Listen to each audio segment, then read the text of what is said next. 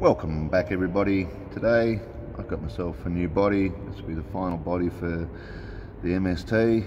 This is a Holden Commodore supercar, V8 supercar. It was a V8 supercar series here in Australia. Yeah, in Australia we had these built up until 2017. This was the last model. This was a VF Commodore. They came out with the Chevy V8s LS2s and LS3s.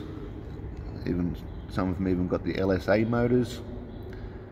So yes, they had the same pick up and go as your Corvettes, your Camaros, but in the sedan family car package. And here in Australia we had a bit of a war going on in a way between Holden and Ford. It was a rivalry that went on forever since the 50s or the 60s. But yes. Now let's get this going and see how it looks drifting around. Alright, let's see how I go.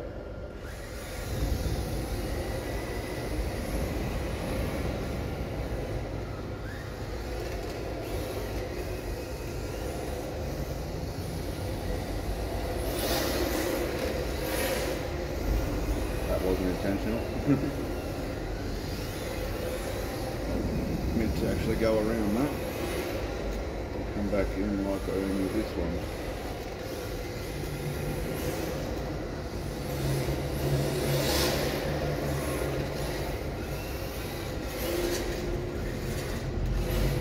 I printed that one a little bit too high when I adjusted them.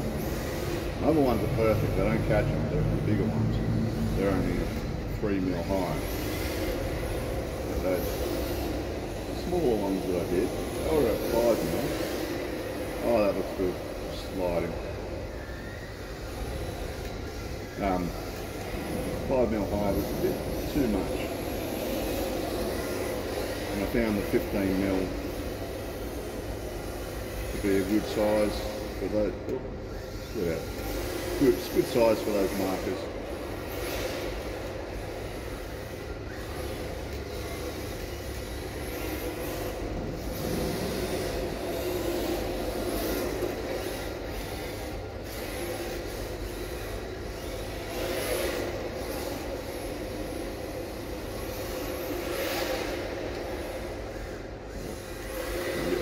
Some mark. Oh, caught the marker there, pull me.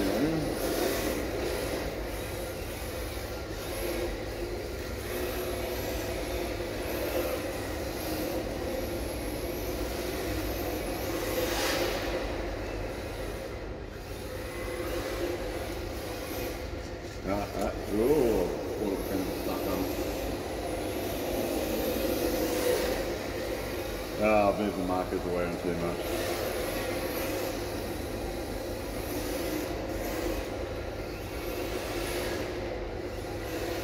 In a way though, I don't mind it sometimes when the markers do get moved around and mixes up what you the angles and that you're trying to attempt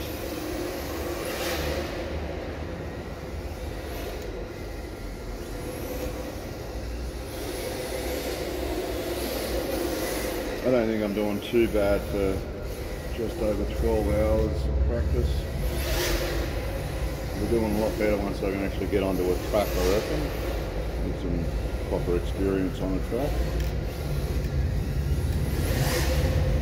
I'm still running the LF1 tyres too. DS LF1s.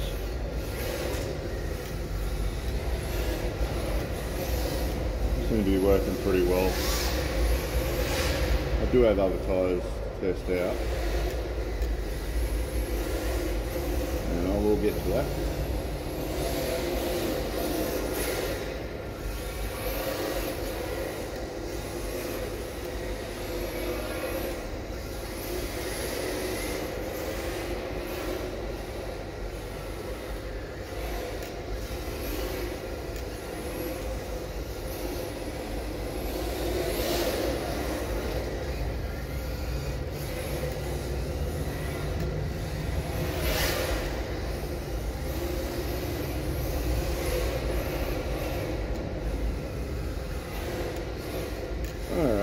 I think I'll leave this video here.